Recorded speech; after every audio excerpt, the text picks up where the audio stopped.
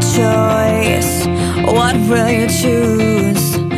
To walk among the crowd Or be one